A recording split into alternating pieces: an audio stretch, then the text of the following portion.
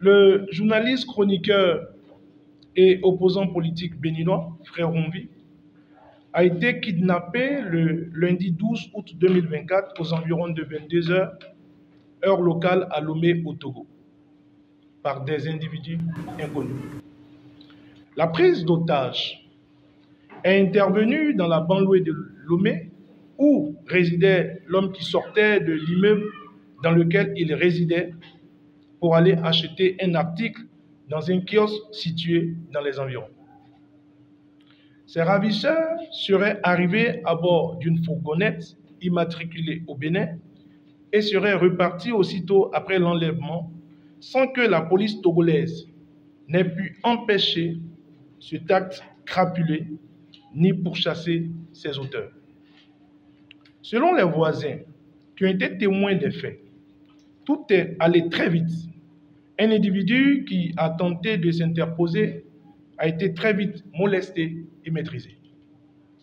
Suite à leur rap, ces ravisseurs qui, au nombre de quatre, agissant comme des individus sous l'emprise de stupéfiants, ont emporté Manu Militari, le frère Ronvi, à qui ils auraient porté une cagoule et qui l'ont fait passer par des voies détournées après lui avoir porté des coups au visage dans le dos.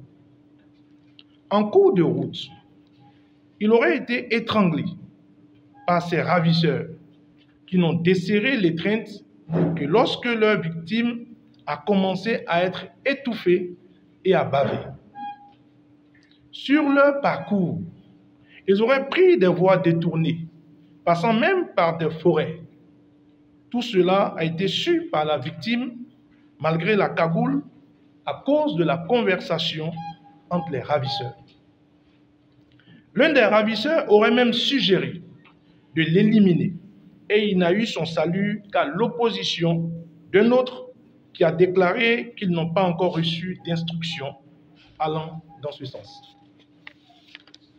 Comme si le terrain était savamment préparé à l'avance, les ravisseurs n'auraient rencontré aucun obstacle pour sortir du territoire togolais. Ce n'est qu'arrivé sur le territoire béninois qu'un agent de la police républicaine se serait présenté à leur otage pour lui placer les minottes et le conduire jusqu'à Cotonou. Il ne fait l'ombre d'aucun doute que c'est l'œuvre de Barbouze, venu de Cotonou en mission commandée par le régime en place au Bénin, qui a des raisons de vouloir tarir la source de la diffusion des turpitudes d'un pouvoir devenu au fil du temps le bourreau de son peuple. La ligne éditoriale, toujours bien documentée et sans concession du chroniqueur, était devenue le pire cauchemar des autorités béninoises qui ont dû recourir à des méthodes dignes de la mafia pour en venir à bout. Il s'est dit que le gouvernement s'est doté des équipements d'écoute les plus à la pointe et les plus onéreux pour surveiller et espionner sa population. Pendant ce temps, par manque d'informations crédibles, nos populations et nos soldats tombent sous les balles des terroristes. M. Patrice Talon, candidat à l'élection présidentielle de 2016, n'avait-il pas recommandé que les renseignements devraient être utilisés pour assurer la sécurité des populations et sauvegarder l'intégrité du territoire national plutôt que d'espionner ses compatriotes. Hélas, ce temps est révolu. La répression des opposants et de la jeunesse étant devenue l'axe central de la politique gouvernementale, le gouvernement se fourvoie, s'embrouille et ment à longueur de journée au peuple toutes les réformes législatives en matière pénale ne visent qu'à restreindre l'espace de la liberté d'opinion et d'expression pour le rendre inexistant. Depuis 2018, la dépénalisation des délits de presse a été très tôt remplacée par la loi portant code du numérique qui comporte des infractions les plus inimaginables ainsi que de lourdes peines au Bénin. Émettre désormais des critiques sur les actions du pouvoir peut facilement être qualifié de délit qui expose son auteur à des poursuites devant la juridiction qu'est la Cour de répression des infractions économiques et du terrorisme, devenue le bras armé du régime finissant. Plusieurs jeunes croupissent dans les prisons déjà surpeuplées pour avoir simplement relayé une information sur les réseaux sociaux. L'objectif de ce régime est d'inoculer et commercialiser la peur aux citoyens pour en faire des spectateurs passifs, indolents et lâches dans l'accomplissement de leur destinée.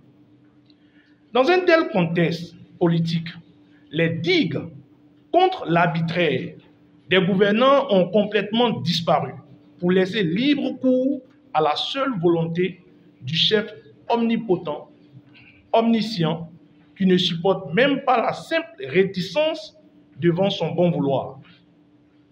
Réduit finalement à l'incapacité de même s'indigner et encore moins de se révolter contre la tyrannie qui l'étouffe chaque jour davantage, il ne reste plus au peuple béninois qu'à prendre son destin en main en se rangeant définitivement du côté de l'opposition à ce régime finissant.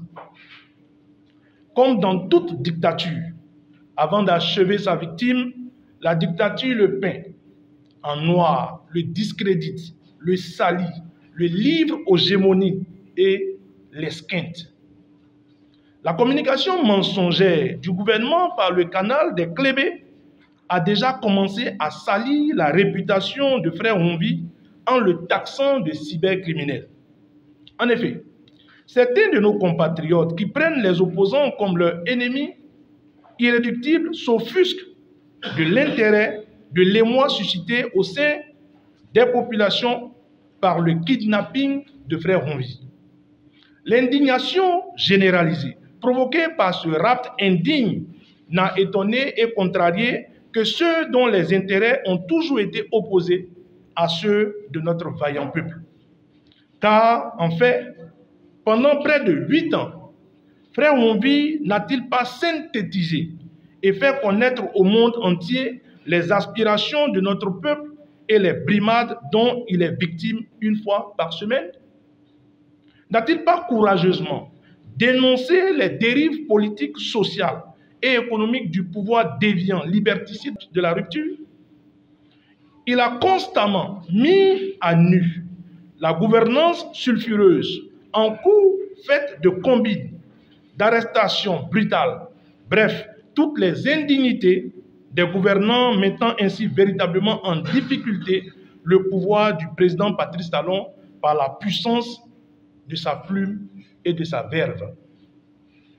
C'est pourquoi le peuple béninois l'a adopté et se tient religieusement plus que les conseils des ministres tous les vendredis à son écoute.